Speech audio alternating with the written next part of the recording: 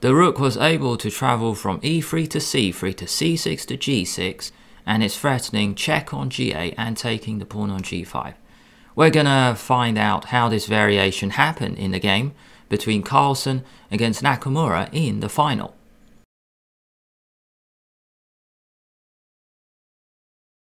First up, let's start with the table. This is day 4 and Carlsen ended up winning one game. They played 4 rapid games, 15 minutes each on the clock and he won the day, two and a half, one and a half. Let's check out one of these games now. Carlsen has white, Nakamura has black. The game began. c4, e5, g3, knight f6, bishop g2, d5. We have the English. Black strikes early in the center, take, take, knight f3, knight c6, castle, and here black plays knight b6, which might look a bit weird, moving the knight away from the center, but it's important to stop white playing d4 straight away. Another line, which is a little bit uncomfortable at the moment for black, is bishop e7. White now strikes with d4, e4, knight e5, and f5. Defending your central pawn and after take-take, a high-level game in this variation was Ding Liren against Jan Nepomniachtchi. I'll include a link in the top right corner to Ding Liren's white repertoire. Black moves the knight away from the center, and Carlsen goes b3 after bishop e6, bishop b2. We have a double fianchetto, bishops on b2 and g2. f6, defend your center, and knight c3. You can strike in the center with d4, but maybe black has e4, and after knight e1, f5, shutting out the bishop on g2 for now. White will break up the structure. This bishop isn't great at the moment. So this is one way to play. However, Carlsen went knight c3, queen d7, and now queen c1. Cool move. Just sidestepping, giving white the chance to play rook d1 and then d4, or maybe even d4 straight away. Nakamura thought this was so dangerous he played knight d4 himself to stop Carlsen playing d4. There is a way to counter this, which is a very weird move, bishop b4. After d4, no need to prepare it with rook d1, let's just strike. You can take the knight on c3. Just volunteer to give up the bishop pair. This looks so weird. But why do this? Because after take, now you go e4. Now after knight d2, f5. Maybe black's doing well here. This bishop isn't great because it's got a pawn blocking himself. Castle a knight can sit very well on d5 and black has a good game. Nakamura plays knight d4, Carlsen gets rid of it, take, take, and knight e4. Just like in previous English games in this match, Hikaru likes to castle queenside, so that's what he did. But White's attack looks so fast and Carlsen begins with a4. d3, you don't want to play a5. General rule, it's a bad idea to move pawns in front of your king. Just creating weaknesses. Knight c5 take take and looks like the a5 pawn is going to drop. So a4. Nakamura pushes another pawn, d3, a5, kicking the knight to d5 and knight c5. No need to deal with the black pawn on d3 yet. Carlsen attacks the queen and the bishop. Take, take, and king b8. Defending a7. You could play d takes e2, but then rook e1, maybe you're getting white's rook in the game. So king b8, and let's point a bishop towards the king as well. Bishop d4, cool move. b6 got to block this diagonal, and then a takes b6. Carlsen mentioned this was a very poor move. Better was queen a3, just to keep the tension. Because white is now threatening to open the a file. Queen e7, you want to trade queens, but white says no, queen a4. Queen d7, you want to trade queens. White says no. He plays taking on b6 first. Take on b6, take back, and then e3, and then white is much better here. Both bishops are facing the king. You don't want to swap off queens now, because you take with a pawn, and now this can open up the king. But Carlsen took first, take back, now queen a3. Is there a difference? Yes, Nakamura now has a defensive resource which Carlsen missed. Taking on e2, rook e1 just like before, but now rook c8.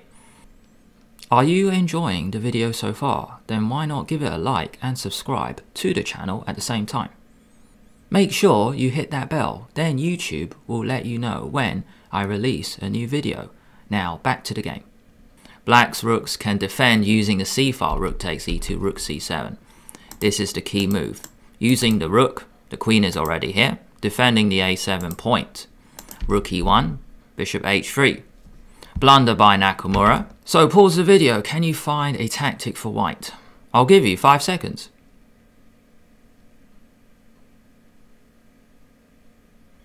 The move that crashes through is bishop takes b6. Knight takes b6 was played, but let's have a look what happens if a b6 because is the queen coming in here? Yes, indirectly. We're going to use rook e7 as a tactic. You can't play knight e7 because queen a8 is mate. After rook e7, if queen d8, white can switch back to the a file with rook a1. Mate on a8, you can't stop it. Bishop takes b6, knight takes b6 played, and now rook e7. Queen takes d2, bishop takes h3. Rook d8. The engine says white is winning, but what is the winning plan? I saw this position in the commentary, but how to continue? Queen a6. Carlsen is telling Nakamura, I plan to checkmate you on b7. I'm going to bring my bishop back to g2. And this diagonal is so strong. Let's get rid of a pair of rooks. Rook takes e7, take, queen d1 check. Good move, forcing the bishop back to f1. So, the bishop can't go to g2 yet. Rook e8 check, rook d8, rook e3. Keeping the rooks on because black's king is weaker. h5, kingside attack, why not? h4, let's stop that. Even h3 is possible, which Carlsen mentioned. Very similar to the other line we're going to show. So let's just go back to the game. h4, g5, and now he took. Maybe in the game Carlsen didn't really want to play this pawn capture. But h4, g5, there's a brilliant move here. And it's all about trying to get the bishop on f1 into the game. How can we get the bishop to g2? I'll give you five seconds.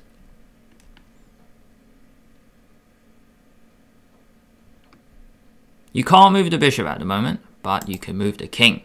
King h2. Let's have a look at g takes h4 first. Bishop g2, winning. Threatening mate on b7. Now if you stop it with queen d7, there's now a brilliant deflection move. Because the queen is defending the b7 square, so now you use the rook to attack the queen. And by attack, I mean you deflect it so the brilliant move is rook d3 and that is game over. Black cannot take it or else it will be mate. But if black moves the queen out the way, white is going to take the rook. So for example this, check, take, mate. So after king h2, the best line is just moving the queen back because you need to defend the b7 square. Bishop g2, queen c7, Take, take, and now rook c3. Here we go. We saw this position at the beginning of the video. It was the thumbnail to this video. Rook c3, you can't take the rook. Rook c6, threatening rook takes b6 check. So black plays rook d7 to defend along the seventh rank. Now rook g6, threatening the pawn and playing rook g8 check. So I love this beautiful geometry where white has managed to go from e3 to c3 to c6 to g6, now attacking the g5 pawn and the g8 square. Beautiful. So rook d8 stops that and now rook takes g5. This is the problem. It's all about deflection. We can't take because we have mate here. You may be asking after rook c6, why did black play rook d7? Well, let's say black plays h4. Where's the mate? There isn't a mate, but there is a lot of simplifying. Rook takes b6 check, take, take, check, and that's it. King c8, only move, and bishop h3 check. Everything is coming off. This is mate, except for the fact that black can block with the rook, but then check. King moves, and then everything comes off. Here, black can throw in a check with take, but white's king is so close. Take, king d7, king g4, this pawn is going to drop, white is going to be two pawns up. Amazing variation. Now back to the game. h takes g5 played, take. Rook e7, threatening mate, rook d7, rook e5, let's keep it, rook d5, check, rook d8, queen b5, h4, queen e5 check, king c8. Notice here, this bishop can't move. If it could, it would be mate. Bishop h3 or bishop a6, but the queen is still on the back, pinning the bishop to the king. Rook e6, h takes g3, rook c6 check. It just looks so dangerous. King b7, queen c7 check, king a8. This rook is still guarded by the queen. There are no good checks now from either rook or queen. Queen takes g3, knight into the game, d5, and now queen takes g5. A cool try was queen g2, because if black plays knight f4, then there's rook c8, double checkmate, which is always very nice. However, Carlsen took the pawn, queen takes g5, but still knight f4, a brilliant resource by Nakamura, temporarily sacrificing the knight. What a defensive move. The threat is if you don't take it, knight h3 is check, winning the queen, because this queen is pinning the bishop to the king. So Carlsen took the knight, rook g8 check, the king has to move, and queen takes bishop. Queen f3. White is one check away from victory, but then so is black. King b8 played. Notice you don't want to play rook h8 check, which looks like it might be winning, because now white plays rook h6, discovered check from the queen. Once the king moves, then white will take your rook. Oops. Such an easy trick to fall for if it was a blitz game.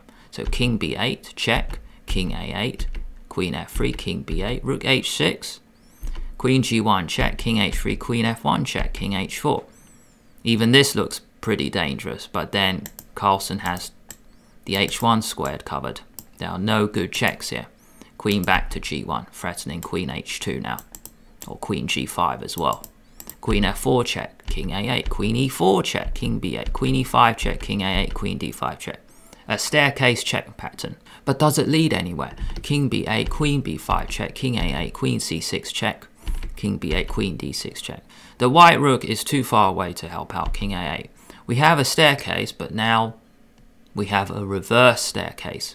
And it didn't lead anywhere. Queen d5 check, king b8 check, check, check, check, check. And after Going up the staircase, down the staircase, Carlsen decided there was no way to make progress and a draw was agreed. What a fight. Carlsen was winning, but Nakamura defended so well in this game. If you think you've got a little bit better at chess, having watched this show, then like the video and subscribe to the channel at the same time. Make sure you hit that bell, then YouTube will let you know when I release a new video.